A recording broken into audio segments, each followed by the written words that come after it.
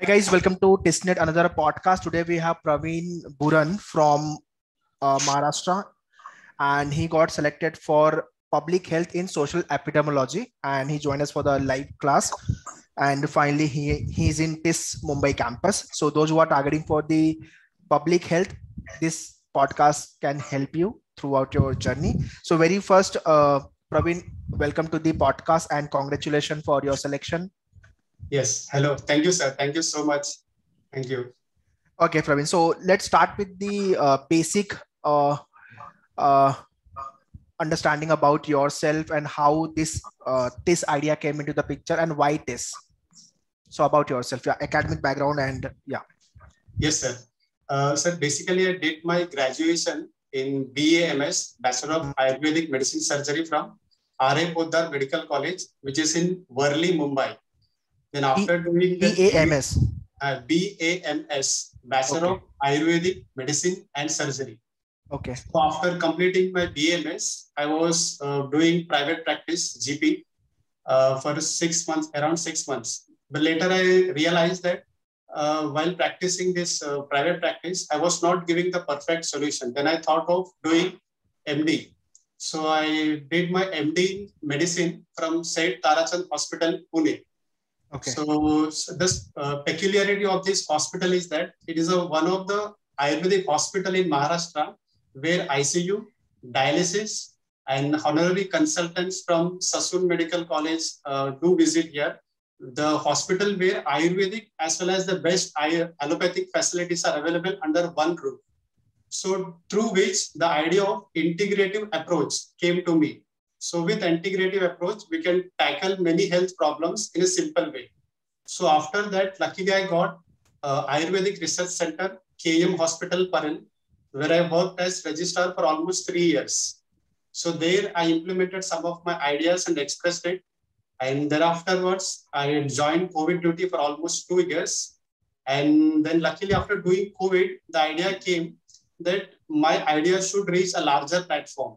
So there I thought of that this is the best one. Someone, one of my friend Rajan suggested me that this would be the platform to implement those ideas at a bigger platform. So this is, and uh, I joined luckily that Manoeuvre. Usually I, uh, the idea of giving this came to me hardly two months back, two to two and a half months back. I joined this. So basically I don't have any clues, neither syllabus, nothing. So while just going through the Google, so I found this Manoeuvre, found your video set, and I found interesting, and I mm-hmm. joined, and uh, later the journey to this. Great. So why uh, social epidemiology? Uh, so basically, uh, coming to this MPH courses, Masters in Public Health, the two courses which are there, it is like non-clinical. So I chose a clinical subject because basically being a clinician, I'm more comfortable with clinical, social epidemiology. And uh, basically, uh, the major health problem at present in our society is NCD, non-communicable disease. This is almost like an epidemiology only. So I thought that this would be the best for me. Okay. You have mentioned that you have some mission uh, with regards to the public uh, health uh, related. So any mission you have planned so far that is why you uh, have applied for the test. So what mission it is? Uh, sir in single sentence if i would like to say that basically whatever the health problems at present we are having in our society we are going in a long route.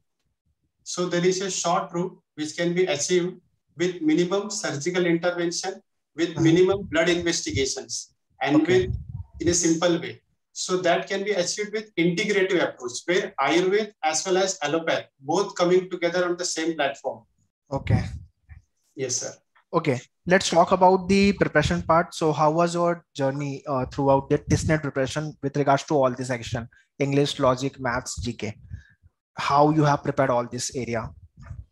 Uh, yes, sir. Uh, basically, uh, when I thought of appearing for exam. Uh, for GK, uh, somebody suggested I was I was going through some groups. Somebody was suggesting Manorama, and most of the people were suggesting Lucent.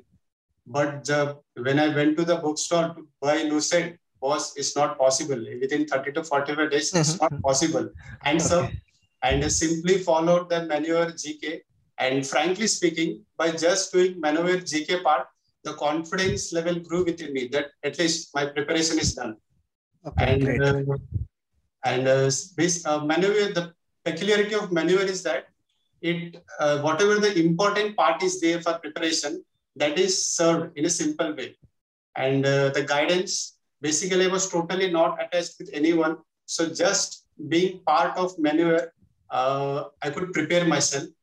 Uh, almost I used to study so 12 to 16 hours per day for the last 30 days, almost 30 days. And we used to start with GK, the early morning static GK, sab ratta marna. then after GK, then I used to do quants till afternoon. Then after lunch, I used to do LR, logical reasoning, and followed by again GK. And uh, in the at night before going to bed for 30 to 45 minutes of English. So this was my routine, sir. Okay, okay. So which section you felt okay, this is the tough section for me, and uh, I just have to manage to you know have to touch the easy level question, and I will perform best in some other section. Yeah. Uh, sir, coming to appearing exam, of course, GK, I was not very confident. I was not preparing since last one year, so I was not very confident. I was confident with English as well as maths. Okay. So basically, I started with while appearing exam. First, I just uh, uh, solved the GK paper first. Then I gave more, mo- major time to. Uh, second part was the English. Then third was the maths. Okay. Maths in the last. Maths in the last step. Okay. Okay. So have you appeared the mock test also? Uh, sir, uh, as I couldn't, my revision was, I couldn't uh, did my revisions properly. Full mock test, I couldn't appear, but the subject wise, I definitely appeared, sir. Subject wise. Okay. How was your interview experience, stage two, if I talk about? Uh, sir, interview, it was very good, sir. Basically, uh, frankly speaking, when I was appearing for interview, I just wanted to know how, what are, will be the questions. I was not uh, confident that I will be one of the TCN. So just experience, चलो एक experience ले लेते हैं interview में क्या होता है. सो so, वो वो एक एटीट्यूड से जस्ट अपियर कर रहा था there was no any anxiety nothing so मेरे जो टिस के जो interview experts the first question was why you want to what want TISS when already you are having Samrajya you? when already you are visiting four different clinics, why you want to come to TISS? So that was the first question. And uh, for extempore, my question was, uh, uh, difference in healthcare in developed and underdeveloped countries and uh, personal questions so what they asked they asked about national health missions uh, they asked about health challenges in our society, Mhm. how to tackle health challenges in rural area. Mhm. Uh, then they asked about my, most of the time they were asking about my personal experience, about my MD journey, about my uh, Ayurvedic Research Center, KEM Hospital journey, about my COVID duty experience, and uh, about whether I have public, published any articles in journals. Mhm. So particularly they were in particularly they were asking my personal experience till now. Means what kind of patients I treat, what is my uh, expertise in. So they were focusing on my personal things most of the time. Okay, great. So, how much uh, you have given the Manoeuvre mock interview also, OPI and this. So, how much it helps you in your actual TISSNET interview part? Yes, sir. It definitely helps a lot. It boosts your confidence. At least it gives you an idea how to prepare, how to express yourself in front of the experts. So experts do catch whether you're genuine in your answers or just okay, banawati answer there are. So they catch you easily. So it helps you. Okay. Last question: If you want to tips to give, uh, if you want to give two tips to all the upcoming year aspirant, so what tips you will give to them? Those who are targeting for 2023 or 24. Okay, okay. Uh, so basically, what would I suggest? The TISS is the platform uh, where if you really want to do something for society, it is one of the best institute.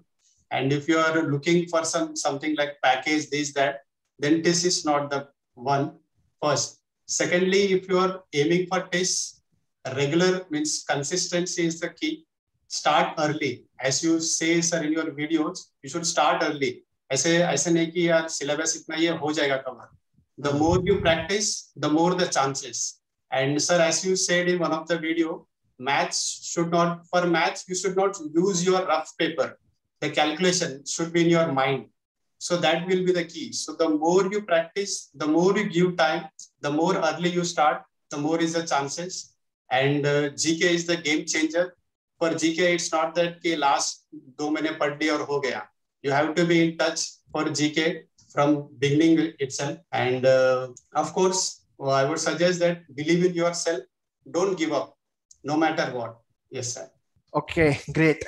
So believe in yourself and give your 100% definitely you will come up with the flying color. So lots of things explained by buran i don't have to uh, summarize in this podcast. And uh, if you have want to see uh, i mean if you have not understood anything you can rewind the podcast. You can watch it. But yeah lots those who are targeting for the public health this podcast will help them definitely. So once again uh, buran congratulations for your test selection. And thank you here for coming and sharing your experience. And definitely this podcast will help to all the you know upcoming test aspirant. Thank you. Yes thank you, thank you sir. Thank you so much. Thank you